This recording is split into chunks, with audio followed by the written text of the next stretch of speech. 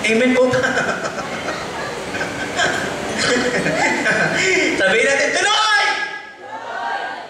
Finally, sa katapos-tapusan mga kapatid, ano man ang totoo, ano man ang marangal, ano man ang tama, ano man ang dalisay, ano man ang kaibig-ibig, ano man ang kahanga-hanga, kung mayroong ekselente, kapuri-puri, ito ang isipin ninyo.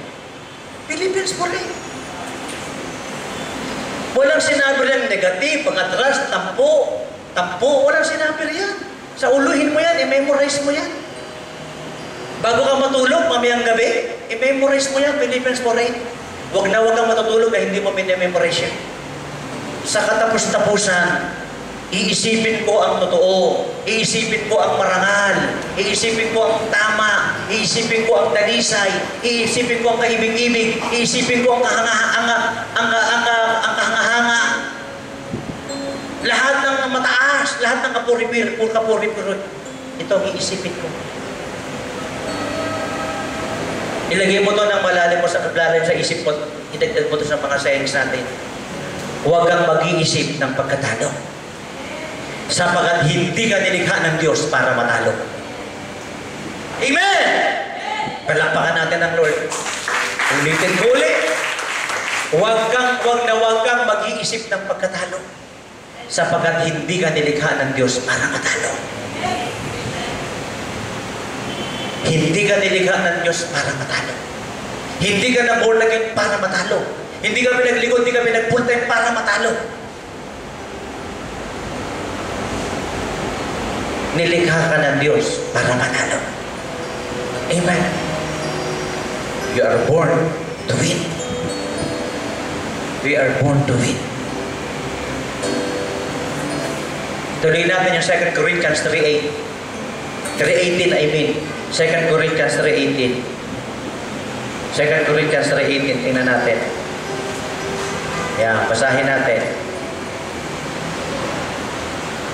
Anong sabi ganon? And we all who with unveiled faces contemplate the Lord's glory are being transformed into His image with ever-increasing glory. Baka sabi, ever-increasing glory. Ano ang ibig sabihin niya? Pataas ng pataas. Pagkasabi pataas ng pataas. Sa ibang translation, from glory to glory. Pataas ng pataas. Tayo ay binabago ng Diyos ng patuloy at patuloy at patuloy. Ang susunod, hindi lang si Daniel ang mag-keyboard, dalawa na, dalawa na dapat mag-keyboard. Kahit tatlo pa! Tatlo pa. Mas gusto ko na maraming nagki-keyboard kaysa isa lang. Mas gusto ko na maraming nagda-drums kaysa isa lang. Amen? Mas gusto ko na maraming sasakyan ng Kingdom of Jesus Fellowship kaysa isa lang o wala. Amen?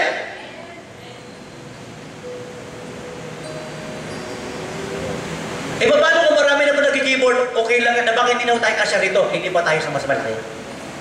Bibili na tayo ng sarili natin. Tama yung sinasabi ni Sister uh, Christine palagi. Ang lingkod ng Diyos, may pangitain. May pangitain talaga ako eh. At ang pangitain ko, pataas ang pataas yan. Hindi ako nagbibiro dyan nang tinuro kita, gusto kita magkaroon ng sarili mong restaurant. Gusto ko yun. Kesa naman ang nanay mo ang bumubuhay sa iyo. Mas maganda ikaw ang bumubuhay sa nanay mo. Kunin mo yung pangarap na yun. Huwag kang masaktan, huwag kang magalit. Tanggapin mo yun. Hindi ka dapat mainis. Ikabubuti mo yun eh. Amen? Nag-text sa gabi si Pastora Ann. Please pray for Sarah. Dumudugo ang bibig, nagpupupo ng, ng, ng, ng dugo. Ang gilagid may, may dugo. Tinawagan ko siya. Pray tayo. Kanina umaga, tinext ko siya uli. Kumusta na si Sarah? Nakalabas na po, viral lang. Answered prayer tayo. Kaya lagi ko siya nasabi sa mga katabi ko na iinis sila sa akin. Madalas. Please, bigyan niyo ako ng katahimikan kapayapaan. Sapagat ang buhay ko yung walang katahimikan kapayapaan, lagi akong nag-aasikaso sa mga attendee natin. Please, bigyan niyo ako ng katahimikan kapayapaan. Isang salita lang, sana sumunod na kayo. Wala nang pasaway. Para lalo akong makagalaw, lalo akong makakilos, lalo akong makapaglingkod, makapagministero sa Diyos at sa maraming tao. Dahil mentas nagpapasaway kayo, nagugulo ang buhay natin pare-parehas. At nagpapasalamat naman ako sa Diyos, hindi sila mga pasaway. Amen? Lakpakan natin ng Lord sa kanilang mga buhay. Diba? Totoo naman yan, Rod, di ba? Dapat ka rito. Tayo ka. Bilisan mo. Totoo, di ba? Hindi ka pasaway. Ang hina. Opo. Tingin ka sa kanila. Opo. Abisin niyo eh.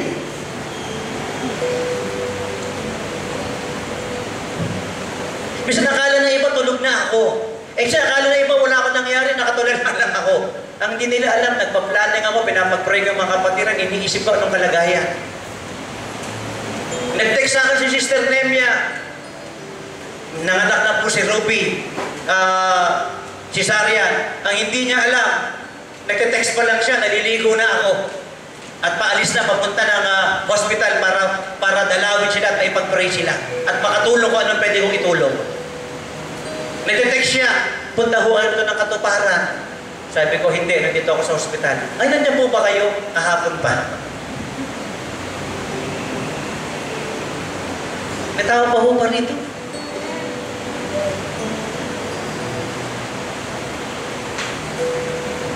So, ano ang conclusion natin? Conclusion.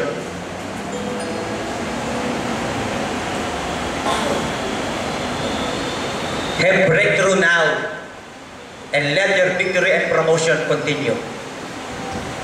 Sabihin mo sa katabi mo, maka-breakthrough ka na ngayon. Sige, sabihin mo. At maka-breakthrough na rin ako ngayon. At magpatuloy ang ating paglago at promesyon. Ano ang pamagat natin, Sister Elma?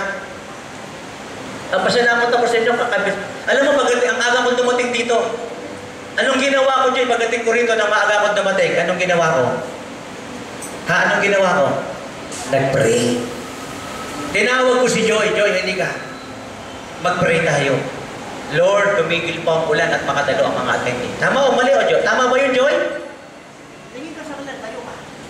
Tama ba yun? Tama po. You see? Dumating ang orto ng maaga, tinawag ko si Joy, tinawag ko si Father Eric, hindi ka pa rin tayo. Lord, masama pa ang panahon, patahimikin niyo po. Lord, ang mga attendee sa kabila ng masamang panahon, maka-attend sila. Basahin mo ito. Sige, lakasan mo. God wants breakthrough in your life now. Tingnan mo katabi mo. Tingnan mo katabi mo.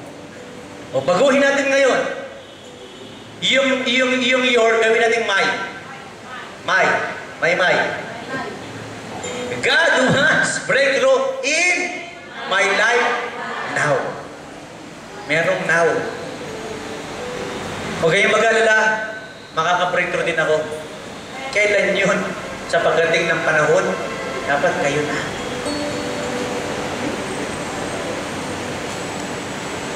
Amen. Tayong lahat ay tumayo. Sino ako as I live? I will glorify Lord. Lord, bread and me, His praises I proclaim.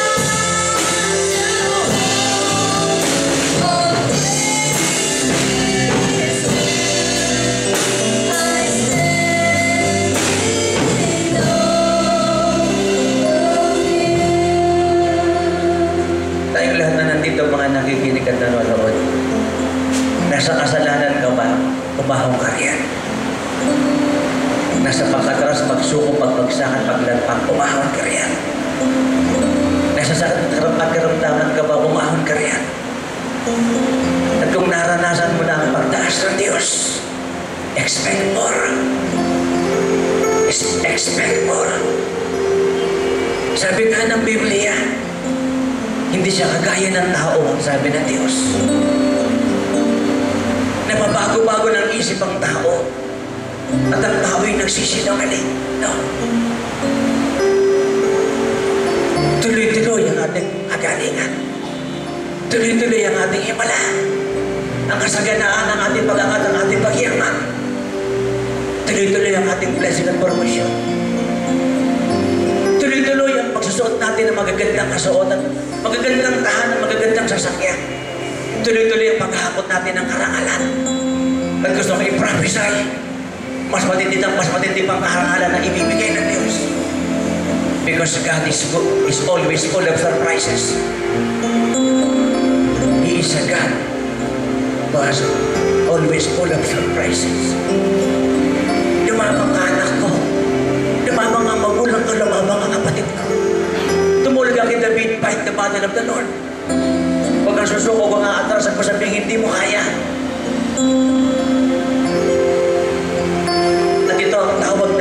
Jesus Fellowship. Ito ang tawag ng ating pamilya, ng ating church at, at ni Ricardo de Garillo. Dalhin sila sa kanilang high calling and perfect destiny Christ. Ano? Ang ibig sabihin nun, ang Diyos natin ay hindi Diyos na nakalatsamba. Sa lahat ng nais magsisi ng kasalanan magbalik loob sa Diyos, gawin mo na ngayon. Lahat ng gusto bumalik sa pag-full time bukas ang ministry, open arms, open heart. Sa lahat ng gusto mag-fulfill ng kanyang calling, open arms, open heart. Let us forget everything.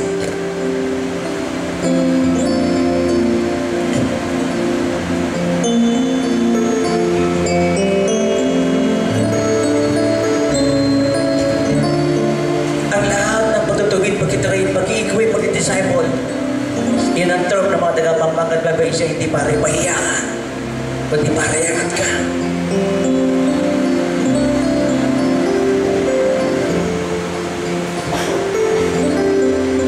Bigyan natin palagi ng karangalan ng pangalan ng Diyos.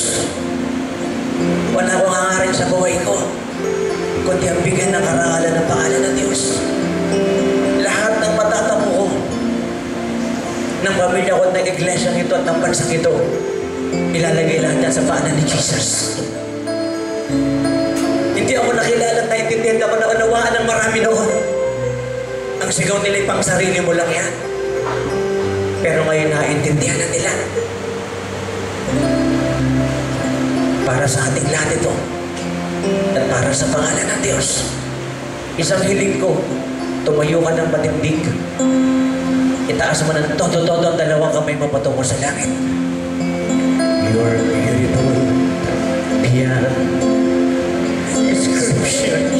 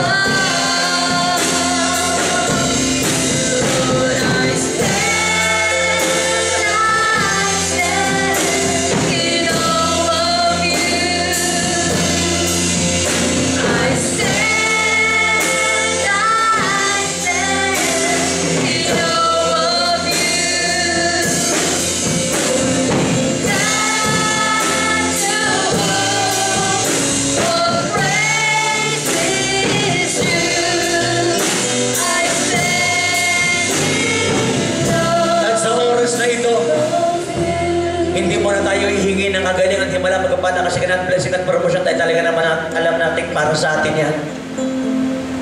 Yung pagnanas, nagnanasa ng mas malalim pa na paglapit kay Lord.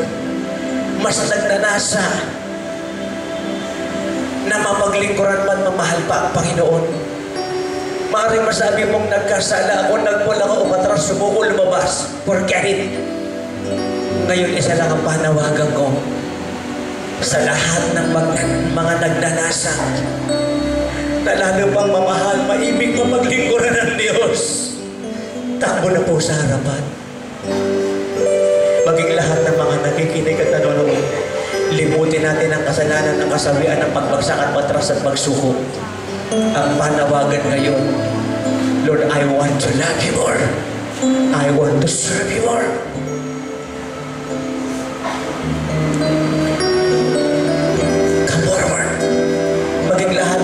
Nakikinig at nanonood, isa hakbang patungo sa iyong DVD player, sa iyong TV set.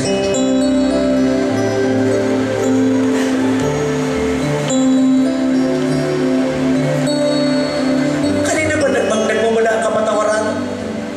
Kanina ba nagmumula ang galingan at himala ang pagbabalat ka sa ganahan? Di ba sa Diyos? Sino ang ating hahangarinig sa lahat? Hindi ba ang Diyos? Hindi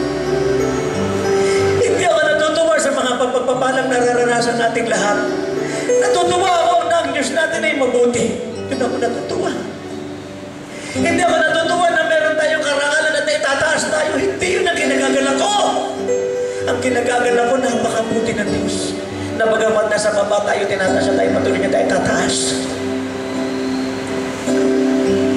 Hingin mo pa sa Diyos. Ilapit ka pa niya sa piling niya na mas malapit pa.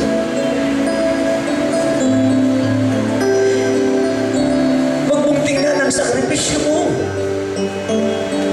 Ang binibigay mo, hinahandog mo, pinag-aayuno mo.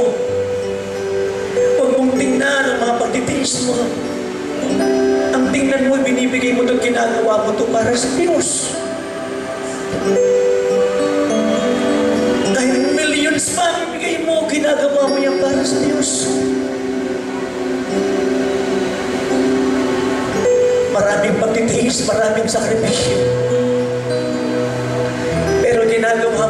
Para sa Diyos. I-offer mo lahat yan. Ang mga tao, pag nakakarinig ng tamang aral, nasasaktan na dumadalo. Pero iba ang taga kay JM.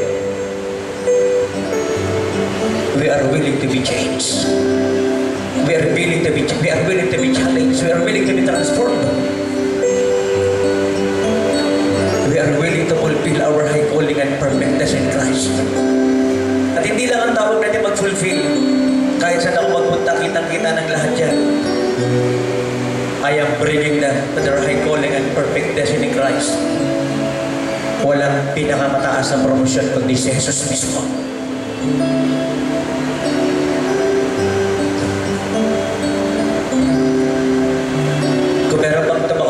Lumapit sa harapan, tumakbo na at lumapit na sa harapan. Huwag natin sayangin ang pagkakataon ito. Anong sabi ko sa sarili ko pagdating ko ng Diyos at walang tao? Ito, di pression mo si ministers, wala.